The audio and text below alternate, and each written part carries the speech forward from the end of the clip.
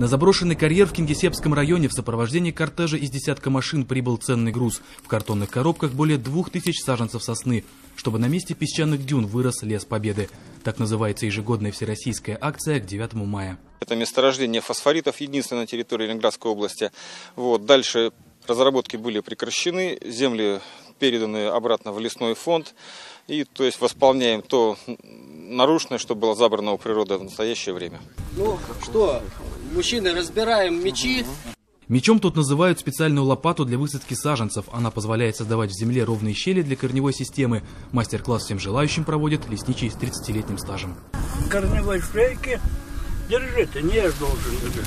Герман Павлович родился незадолго до начала Второй мировой войны. В пятилетнем возрасте вместе с матерью попал в концлагерь на территории Латвии. Выжил чудом. Лепую бомбили так, что вот сидим в этом подвале. Лампочка синим покрашена.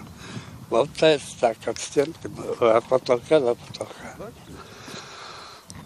Ну, и в результате я перестал говорить. После войны он закончил школу письменно и пошел в лесное хозяйство. Голос со временем вернулся. Теперь рассчитывает увидеть, как год за годом на его глазах будет расти новый хвойный лес.